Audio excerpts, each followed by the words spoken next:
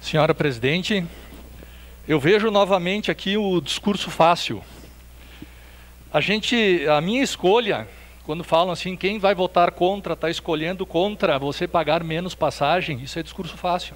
A minha escolha aqui, então, é pela saúde, que está faltando exames, que esse um milhão podia baixar o número de exames, você está em casa, que está dependendo de um exame, esse um milhão podia ser o seu exame, e não a passagem pública que querem baixar.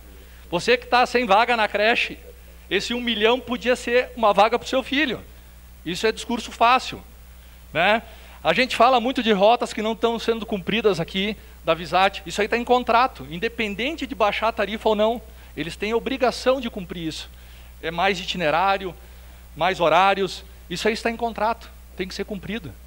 Se o contrato já está enxuto o suficiente e querem baixar só o valor da passagem, não vão aumentar as rotas. Isso é ilusão. Parem com isso. A 5,50 a Visat consegue trabalhar, consegue aumentar as rotas que precisam, consegue aumentar os horários. Eu falei com o diretor da Visat. A 5,50 eles conseguem cumprir o contrato. E com mais rotas e o que precisar.